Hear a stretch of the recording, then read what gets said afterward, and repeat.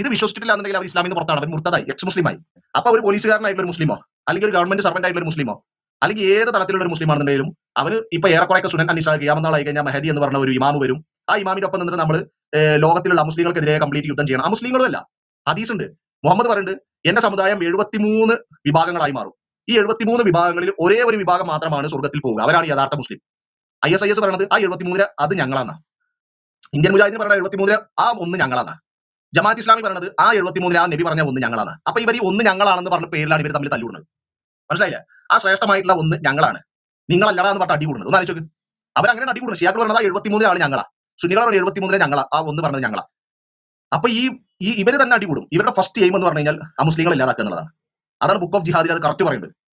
Nisad report ചെയ്ത book of ജിഹാദ് എന്ന് പറഞ്ഞ ആ സാധനത്തിൽ മുഹമ്മദ് വ്യക്തമായിട്ട് പറയുന്നുണ്ട് എങ്ങനെയൊക്കെ ആരൊക്കെ എങ്ങനെയൊക്കെ കൊല്ലണം. ലോകവസാനാകുമ്പോൾ ആരൊക്കെ ഫസ്റ്റ് ഉന്മൂലനം ചെയ്യണം? ആദ്യം ജൂതനെ ജൂതനാണ് ഏറ്റവും വലിയ ത്രെട്ട് മുസ്ലിങ്ങൾക്ക്. പിന്നെ ക്രിസ്ത്യാനി പിന്നെ ബിംബാരാധകർ ഇവരൊക്കെ അങ്ങനെ പഠിക്ക് പഠിക്ക് ഒന്നു കൊടുക്കണം. അതൊക്കെ വിശ്വസിക്കുകയാണ് ഈ പറഞ്ഞ ആൾക്കാർ ഏതൊരു മുസ്ലിം ആയിട്ടുള്ള സെക്യുലർ ആയിട്ടുള്ള മുസ്ലിം ആയിട്ടുള്ള ഏതൊരു വ്യക്തിനെ ഇവിടെ എടുത്ത് നോക്ക്? അയാളോട് ചോദിച്ചോ നീ കിയാമത്നാൾ വിശ്വസിക്കുന്നുണ്ടോ? ലോകാവസാനത്തിൽ വിശ്വസിക്കുന്നുണ്ടോ? അവൻ വിശ്വസിക്കുന്നുണ്ട് എന്നേ പറയൂ. യെസ് അപ്പൊ കിയാമത്ത് നാളിൽ അവൻ വിശ്വസിക്കുന്നുണ്ട് അതിന്റെ അർത്ഥം എന്താ? അവൻ ഇമാം മഹദി എന്ന് പറഞ്ഞ ഒരാൾ ഇവിടെ വന്നിട്ട് അയാളൊപ്പം യുദ്ധം ചെയ്യണം. അത് വിശ്വസിക്കുന്ന ആളാ. അതിന്റെ പേരാണ് ഗസ്വായി ഹിന്ദ്. ഇന്ത്യനെ കീഴടക്കണം. അങ്ങനെ ഇമാം മഹദിരപ്പം നിന്ന് യുദ്ധം ചെയ്യുന്ന ആൾക്കാർക്ക് സ്വർഗമുണ്ടെന്ന് വിശ്വ- വിശ്വസിക്കുന്നവരാണ് ഇവർ. അപ്പൊ നമ്മൾ ഏത് മുസ്ലിങ്ങളെ വിശ്വസിക്കും? ഇത് ഹിന്ദുക്കൾ മനസ്സിലാക്കേണ്ട ഒരു കാര്യമാണ്. ക്രിസ്ത്യാനികൾ കുറെയൊക്കെ മനസ്സിലാക്കി കഴിഞ്ഞു.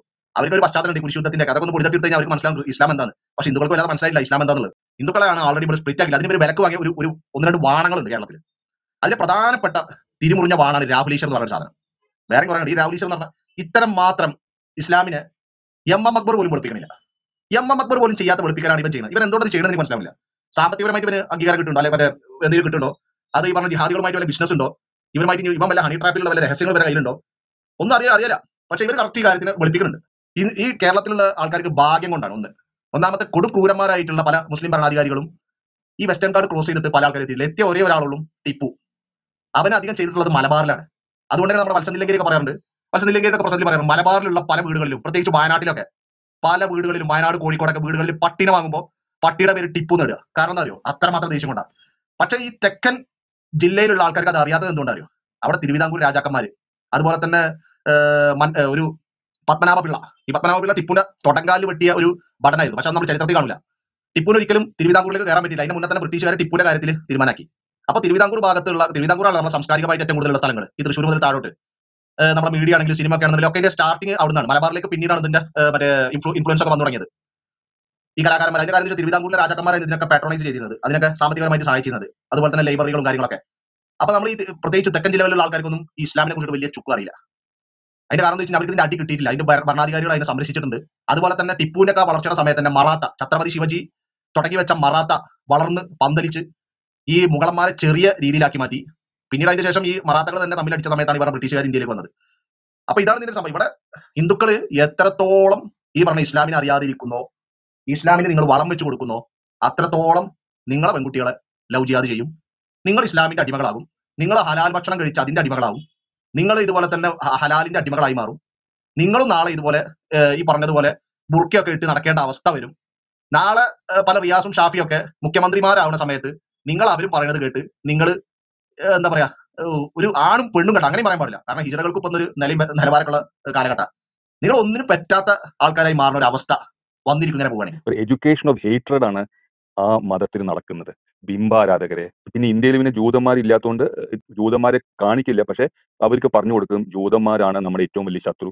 ജൂതന്മാര് മുസ്ലിംസിനെ തകർക്കാൻ വേണ്ടി എല്ലാ കാര്യങ്ങളും എപ്പോഴും എന്തെങ്കിലുമൊക്കെ ചെയ്തുകൊണ്ടിരിക്കും അവരെ വ്യക്തമായിട്ട് ഒരു മൂന്ന് ഇപ്പൊ ഫസൽ പറഞ്ഞ മാതിരി മൂന്ന് വയസ്സിലും നാല് വയസ്സിലും മദ്രസയെ കൊണ്ടുപോയിട്ട് ഈ ഈ ഈ മദ്രസ എഡ്യൂക്കേഷൻ അതിന്റെ മുകളിൽ എന്റെ അഭിപ്രായത്തിൽ ഈ ഈ ഒരു ക്യാമറ ഈ സർക്കാർ വെക്കണം. ഈ പത്ത് കൊല്ലം ബി ജെ പി സർക്കാർ ഭരിച്ചിട്ട് അവരുടെ ഈ വിദ്യാഭ്യാസം അവിടെ എന്താണ് നടക്കുന്നത് ഒന്നും മനസ്സിലാക്കാൻ ഈ ഗവൺമെന്റ് ചെയ്യുന്നില്ല എല്ലാ സ്ഥലത്തും എല്ലാ മദ്രസ എഡ്യൂക്കേഷൻ മാത്രമല്ല എല്ലാ സ്കൂളുകളിലും ഹൈന്ദവര സ്കൂളിലും ക്രൈസ്തവര സ്കൂളിലും അതേമാതിരി മദ്രസകളിലും ക്യാമറ വെച്ചിട്ട് ഒരു ഒരു ചിലവർ അവർ അതിനെ നിരീക്ഷിക്കണം. ഇപ്പൊ ഉദാഹരണമായിട്ട് ഇപ്പൊ സൗദി അറേബ്യയിലൊക്കെ വെള്ളിയാഴ്ച പള്ളി വെള്ളി- വെള്ളിയാഴ്ച പള്ളി പള്ളിയിൽ ജുമ്മ കഴിഞ്ഞ അവിടുത്തെ ഇമാം എന്താണ് കുത്തുബ പറയുന്നത് ഓരോ വാക്കും സൗദിയിലെ സൗദി ഭരണാധികാരി പറയുന്ന വാക്കേ അവൻ പ്രസംഗിക്കുള്ളൂ. ഒരു വാക്ക് അവൻ അവൻ എക്സ്ട്രാ പറഞ്ഞു കഴിഞ്ഞാൽ അവന്റെ ജോലി പോകും പിന്നെ അവൻ ജയിലിലാവും.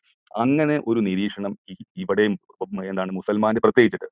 കാരണം വെച്ചാൽ മറ്റുള്ള മതസ്ഥരൊന്നും എന്താ മറ്റ് മറ്റുള്ള മതസ്ഥരൊന്നും വെറുപ്പിന്റെ ഒരു ഒരു വിദ്യാഭ്യാസ വിദ്യാഭ്യാസമോ ശാസ്ത്രമോ പറഞ്ഞു കൊടുക്കുന്നില്ല. അത് നമുക്കറിയാം. പിന്നെ ഇപ്പോൾ ഒരു ഹൈന്ദവ കുടുംബത്തിൽ മതവിദ്യാഭ്യാസം തന്നെ ഇല്ല അവരെ വെറുക്കണമെന്നൊന്നും ഒരു ഹിന്ദുവിനും പറഞ്ഞു കൊടുക്കുന്നില്ല ഇനി ഏറി വന്നാൽ ഒരു ഒരു ഹിന്ദുവിന് പറഞ്ഞു കൊടുക്കുന്നത് എനിക്കറിയാം. അവന്റെ മാതാപിതാക്കളോ അല്ലെങ്കിൽ അവന്റെ മുത്തച്ഛനോ മുത്തച്ഛോ ഈ രാമായണത്തിലെ മഹാഭാരതത്തിലെ ചില കഥകൾ പറഞ്ഞു കൊടുക്കുന്ന അല്ലാണ്ട് വേറെ ഒരു വിദ്യാഭ്യാസം കൊടുക്കുന്നില്ല. സൂറ സൂറ ബക്രയാണ് മെദീനയിലേക്ക് പാലായനം ചെയ്ത് ശേഷം ആദ്യം ഇറങ്ങുന്ന ചാപ്റ്ററാണ് സൂറ ബക്ര ഏറ്റവും നീണ്ടു വന്ന ചാപ്റ്റർ. പത്തിരുന്നൂറ്റി എൺപത് ആയത്തുകളുള്ള ചാപ്റ്ററാണ്.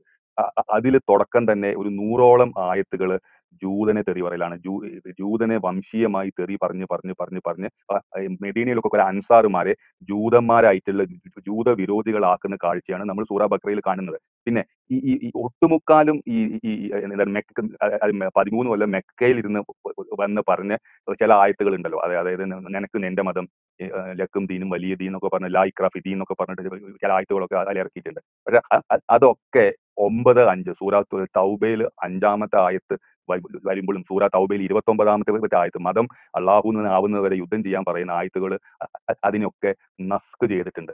അപ്പൊ ചുരുക്കം പറഞ്ഞു കഴിഞ്ഞാൽ ഹദീസും ഈ ഖുറാനുമാണ് മദ്രസയിൽ പഠിപ്പിക്കുന്നത്. അത് എന്ന് പറഞ്ഞ അന്യമത വിദ്വേഷം അല്ലാണ്ട് വേറെ ഒന്നുമില്ല. എങ്ങനെ എങ്ങനെ ഇസ്ലാം കൊണ്ട് ഇസ്ലാമിൽ താമസിക്കുന്ന സ്ഥലത്ത് അവൻ ന്യൂനപക്ഷമാണെങ്കിൽ എങ്ങനെയെങ്കിലും അവിടെ ഒരു ഭൂരിപക്ഷം വന്നിട്ട് ജനസംഖ്യ ജനസംഖ്യ വർദ്ധിപ്പിച്ച് മതം മാറ്റം നീ അത് ദാവാ പ്രവർത്തനം ചെയ്ത് പറയുന്നത്. ന്യൂനപക്ഷം അതാവുമ്പോൾ ഇന്ത്യൻ ഭരണഘടനയാണ് നല്ലത് മതേതരം എന്നൊക്കെ പറയുന്നതൊക്കെ ചോദിക്കും നിങ്ങൾ ഒരു മുസൽമാനോടൊന്ന് ചോദിച്ചു നോക്കൂ. ഇന്ത്യൻ ഭരണഘടനയാണോ നല്ലത് ശരിയാണോ നല്ലതെന്ന് ചോദിച്ചു കഴിഞ്ഞാൽ അവൻ സത്യസന്ധനാണെങ്കിൽ അവൻ അവൻ പറയും ശരിയാണെന്ന് പറയും. അവൻ അവൻ പറയാൻ പേടിണ്ടെങ്കിൽ അതെന്തിനാ ചോദിക്കുന്നത് പറഞ്ഞാൽ അവൻ ജിലേബി ബൈ ഒരു ഉത്തരം പറയാണ്ട് ജിലേബി മാതിരിയാക്കിയിട്ട് അവൻ എന്താ വേറെ ഏതെങ്കിലും ഗോൾ പോസ്റ്റ് മാറ്റും. പക്ഷേ ഓരോ മുസൽമാന്റെ കീഴിലും നമ്മുടെ മതം ഒരു സ്ഥലത്ത് വളർത്തണം.